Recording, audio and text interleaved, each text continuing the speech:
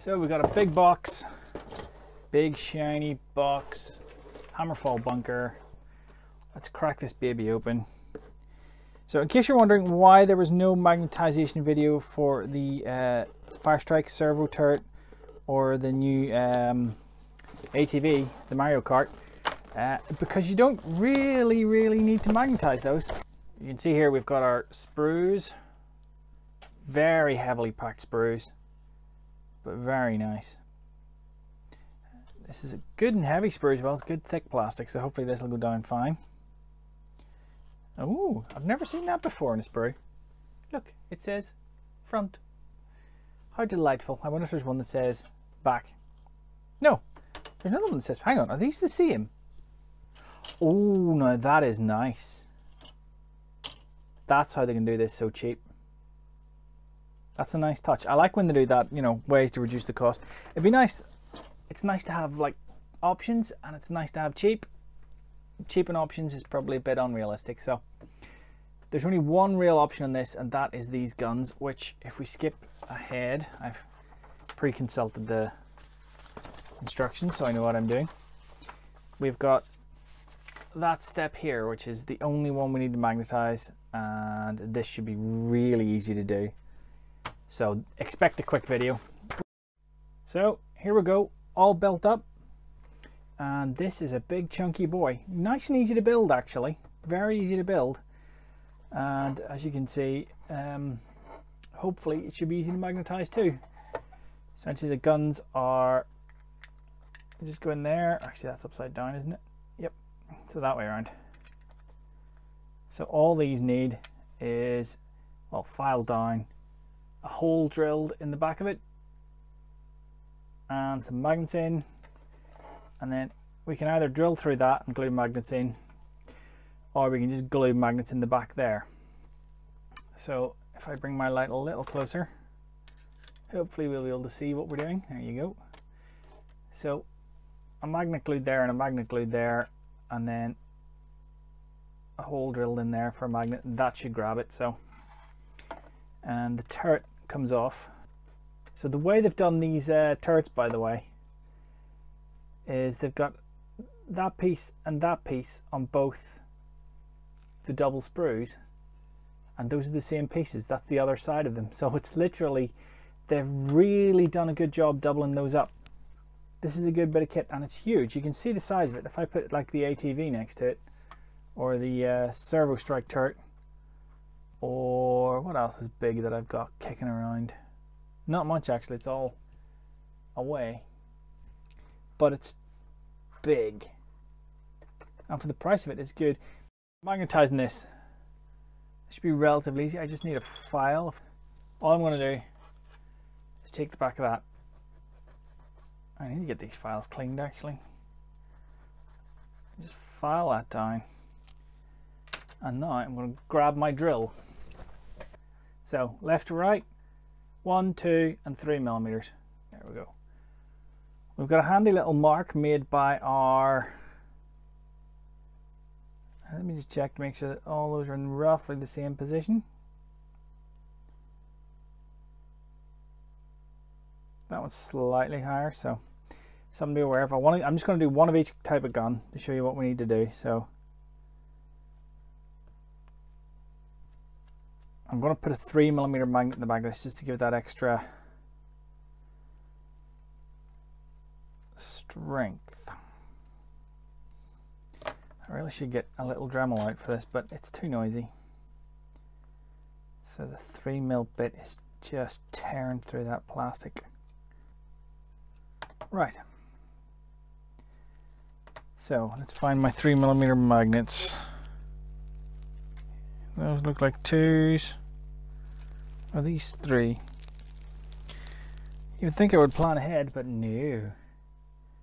Okay, so these are two. I want to put, these are three millimeters wide by two millimeters deep. And you can see, if I take one off here, I have a little bit more to go. I want that flush. So pop that out. I actually hope I've got 16 of these. I think I've got 16. So let's just take the two millimeter and Actually, probably need the one millimeter again. Ooh, it's hollow. Well, that's good to know.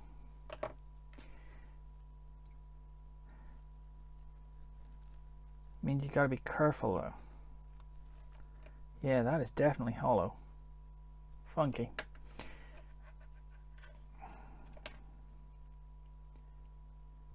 Yeah, the three millimeters a big step up from the two. And it does have this awful habit of basically rather than drilling, just pulling the drill bit in. There's a nice big hole. You'll notice I avoided a giggity there. Now, whoops. So obviously the hole is too deep at this point. You can see the magnet is more than flush. It's actually, let me just focus on that.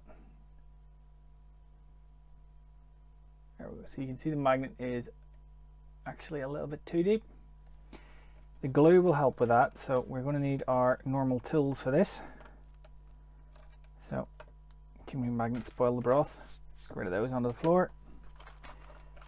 My magnet putting oning tool who knew things had multiple options, and super glue.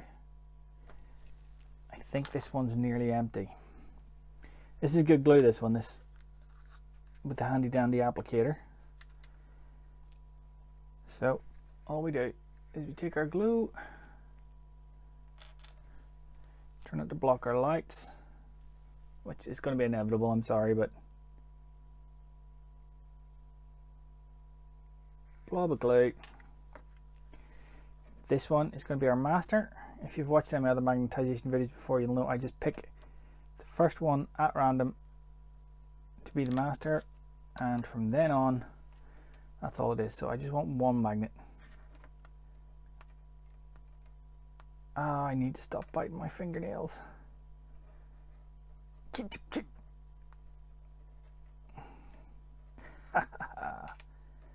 Screw you, hippie.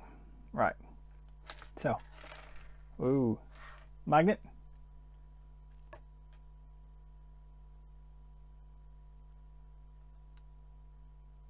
And I'm just going to keep, so if I just keep pushing that back and forth, hopefully what we want to happen is the glue to set in the slot Anyway, you'll see that that will now glue in and not annoy so just give a few minutes for the or a few seconds for the glue to go. And we're going to decide what size of magnet to put on the back of this. All right so you can see that this is going to go in there. And all we need to do is take a magnet. So if I flip this over, you'll see on the other side there, here and here, it's quite dark and it's hard to light inside it. So if you see those two flat spots, those are where, those are the other side of where the gun is going to go. So if I glue a magnet here or here or where any of the other ones of them, then it should hold. Now, what size of magnet? Well, let's see what we've got. Those are either five or six. These ones, I think they're six. So we'll try a six by one and see if it holds. So the glue should be pretty much chooched. So if I then drop that in there, basically what I want to do is just drop a magnet onto the back of that and see if it holds. If it has holding power, so if I can let go of the gun, alright, so if I hold that magnet in place now, so you can see I've got my magnet. Uh, lighting inside this thing is so you can see we've got our magnet there. I would hang on. What am I doing? Why am I an idiot? How very dare I? It's late. I'm tired. Leave me alone. So there's our magnet stuck in the back and you can see our gun. So if I hold the magnet in place, pull that off, it's a bit wobbly. So what we'll do is we'll drop the magnet inside because that's what we want to do. Now I only need eight. So pick that up. I've got one, two, three, four there. I've got enough of these bigger ones. So again,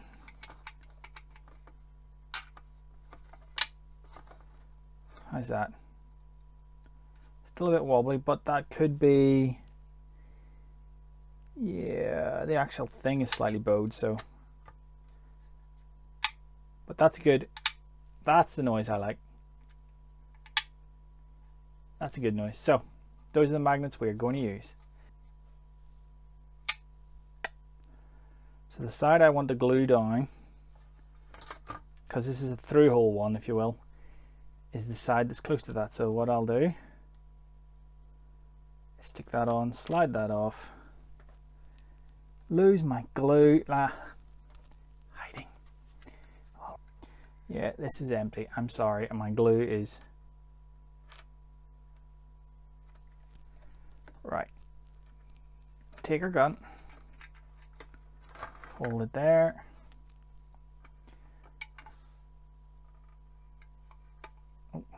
push it to the very tippity tip top. And I'm, I'm barely even holding this. I'm literally, literally letting the magnet guide itself into the place it wants to be. And just keep sort of moving it very gently until the glue dries. Sometimes giving it a squeeze down can help. There we go. And that First one, we don't really care about how badly it's done on the inside, but on the outside we now have our all we've got to do now is do all the rest of those and then it is done. So I'm not going to do it on camera because seriously that will bore the tears off you and extend this video's runtime. No one will watch it that long and the video retention will be terrible and bad things will happen to me. So let's just do the bolter now so that we can prove to ourselves that both will work. File the back of it down. Pull that one off. Get a rough idea of where abouts we want it to go. So it's ever so slightly at the bottom of that. So drilling in.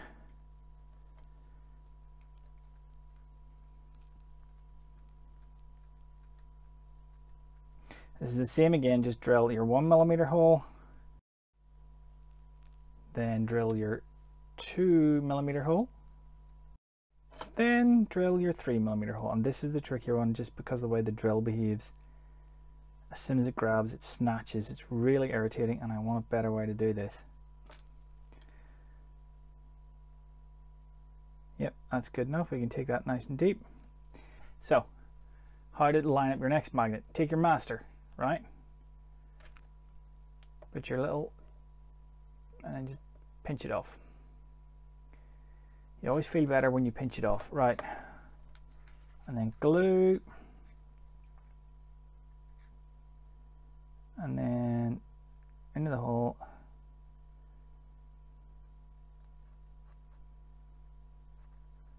And all we're doing, by moving it like this over the flat spot, we're trying to make sure that there any glue that leaks out of the hole doesn't stick to or to just the magnet. So now our bolter will click on. To be honest, is this necessary? No, you could put two bolters on that and then two flamers on that and then two bolters on that and then two flamers on that and I don't think anybody would care. Certainly I wouldn't care, but just if you're in that kind of mood. Anyway, I'm going to magnetize the rest of this just for lulls. And I'll see you guys next time. If you've made it this far, thanks very much for watching. There's another couple of videos there you can click on. You can click on the subscribe button if you want to. Uh, like the video if you want to. Stick a comment down if you've anything to say. And in the meantime, happy wargaming. And I'll see you next time.